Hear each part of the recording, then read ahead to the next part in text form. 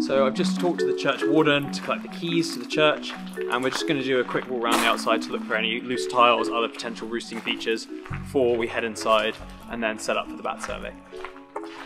The local church group are looking at repairing the roof and getting some of the tiles replaced uh, and any bats that might potentially be roosting in there could be disturbed or destroyed. So we're going to do a survey to see what use they're making of the site if there are any bats. I'm going to assess the interior of the church for any signs of bats. So a bat was seen in here about a year ago. Uh, it came in and kind of flew around while they were doing a service. Uh, but that doesn't necessarily mean that there's a bat currently using the space because they are seasonal. Um, and so I'm going to have a look around, see if I can find evidence of bats. So either it could be a bat itself clinging to its roost, or I could look for evidence like bat droppings, disturbed cobwebs, things like that. So we're just going to have a brief look around.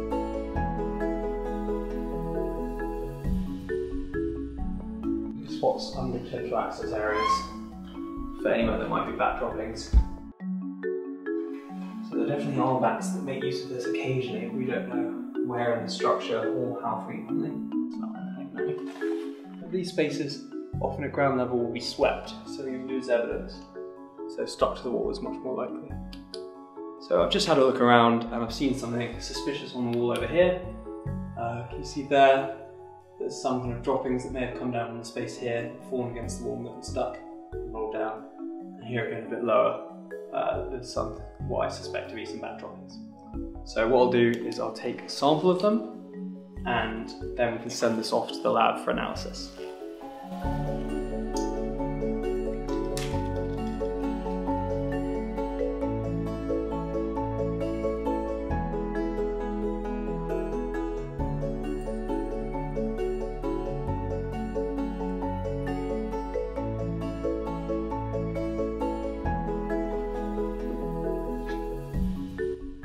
So what I'm using is a laser rangefinder to measure the space and that'll help me get the dimensions of the space to then list in my report.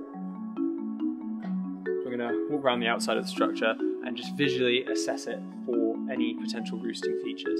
So the kind of thing I'm looking for is raised tiles or for instance up here we've got some raised roof tiles and some lead flashing which has a little bit of a gap under it.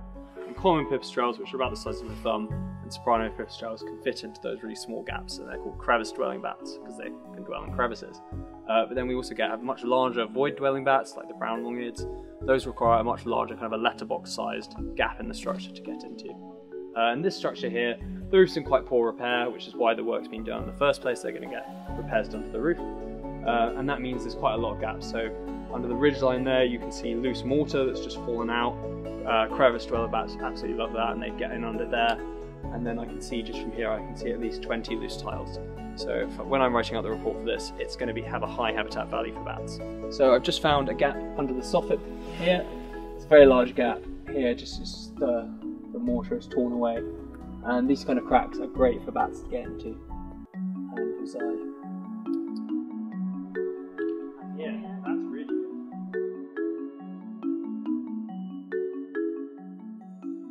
What I found here on the east side is two really massive gaps in the slate tiling on the roof.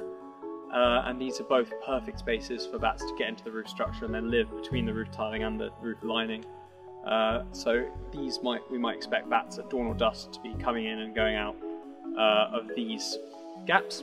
So when it comes a bit later, when it gets a bit dark, and we come back to do our dusk emergence survey, I definitely want to put a surveyor on this side to then keep watch specifically on these two gaps in the roof here, and we might expect, and hopefully if we get lucky, we might see some bats coming to and fro. So I've completed the preliminary roost assessment of the site, and given the number of missing tiles, we think it's a high habitat value for bats. What this means is they'll need three dusk and dawn emergence surveys, at least one at dusk, at least one at dawn, using four surveyors to cover every angle of the building, Uh, and they'll need this in order to get their planning permission. So those are the recommendations I'll make to them in my report.